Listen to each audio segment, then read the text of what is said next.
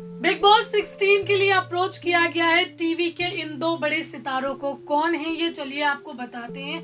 Colours TV का most controversial show Bigg Boss जिसका season 16 की तैयारियाँ काफ़ी जोरों शोरों से स्टार्ट हो चुकी हैं। कई सारे सेलिब्रिटीज को अप्रोच किया जा रहा है बिग बॉस 16 के लिए।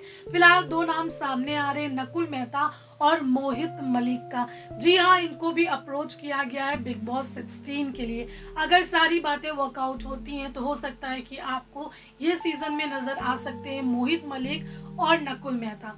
इन दिनों मोहित मलिक खतरों के खिलाड़ी सीज़न 12 में खतरों से खेलते हुए दिखाई दे रहे हैं। इसी भी खबरें सामने आ रही है कि मोहित मलिक टॉप टू में। तो वही नकुल मेहता इन दिनों बड़े अच्छे लगते हैं। सीज़न टू में नज़र आ रहे हैं, लेकिन ऐसी खबरें हैं कि जल्दी ये शो ऑफ़ एयर भी होने वाला है लो टीआरपी की वजह से।